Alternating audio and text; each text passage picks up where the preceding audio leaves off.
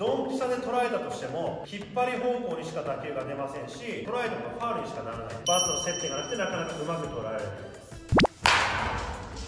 パンと回してあげる。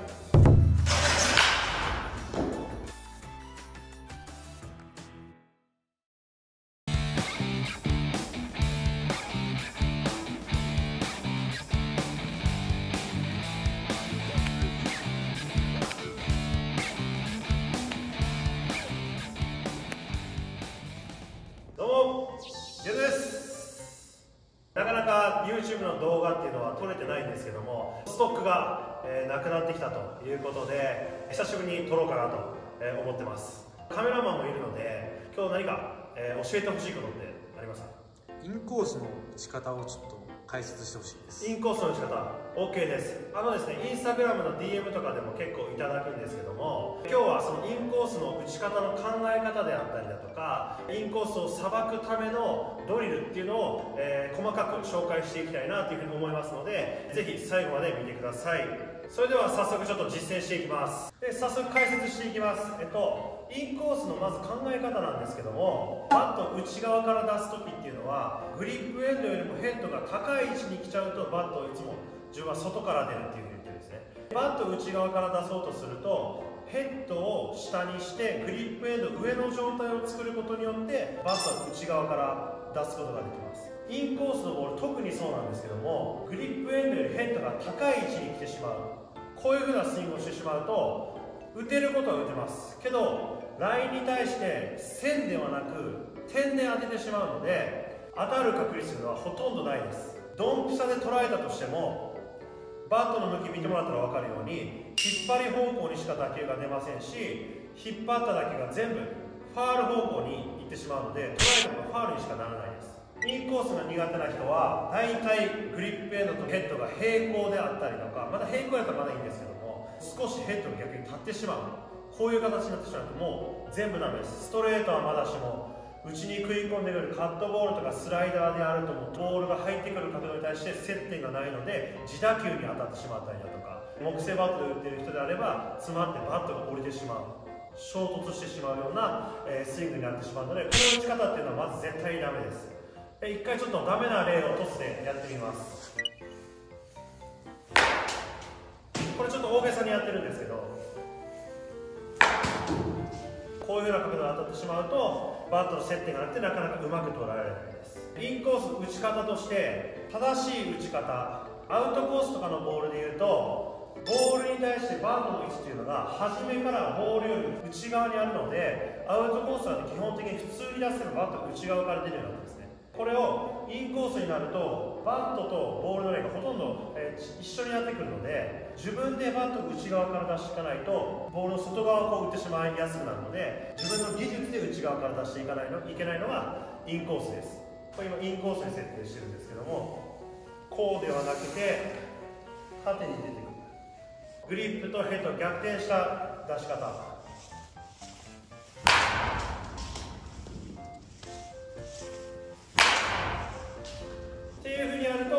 インコースというのはすごくさばきやすくなってバットを芯で捉えれるようになってきます。でバットが内側から出てるんで少々詰まってもバットの角度がいいのでポテンヒットになってきます。これもどういうことかっていうとこの状態でボール詰まってしまったりとか先っぽに当たってしまうと打球って弱い内野ゴロになると思います。けどこれが縦の角度でなおかつ押し込んだ形でバットを出してこれると詰まろうが先に当たろうが打球っていうのは上に向くの分かりますこれだと真横だと詰まると内野ゴロになるボテボテの。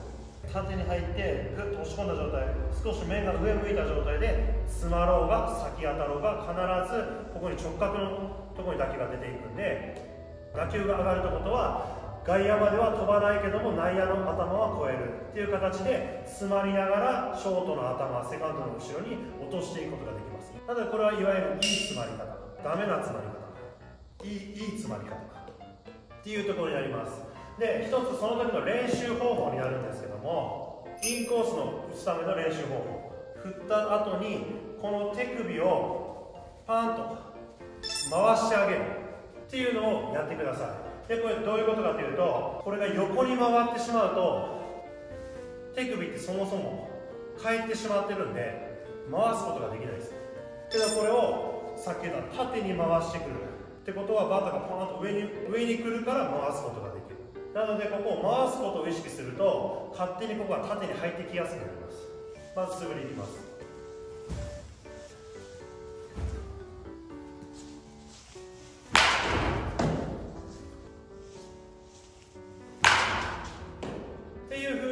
すことを意識すると自然とインコースはいい角度でバットが入るようになってくるのでティーバッティングとかでもインコースを意識して練習するときは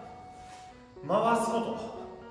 とを意識してください。すると自然とバットの軌道は良くなってきます。いろんな打ち方高めの打ち方低めに強い打ち方インコースに強い打ち方アウトコースに強い打ち方とかいろいろスイングによって違うのでどの打ち方も正解になるんですけどもこういう別々インコースはこうやってやる一つ一つ打ち方であったり軌道をイメージしながらこうやって練習しておくことによっていざインコースにボールが来た時とかに自然とそういう反応ができたりとかっていうふうに、えー、試合の中で突発的に出るようになるのでインコースを練習をするときはこれアウトコースにするときはなるべく手が出ないように別々に分けた練習をティーバッティングしてもらえたらいいかなというふうに思います。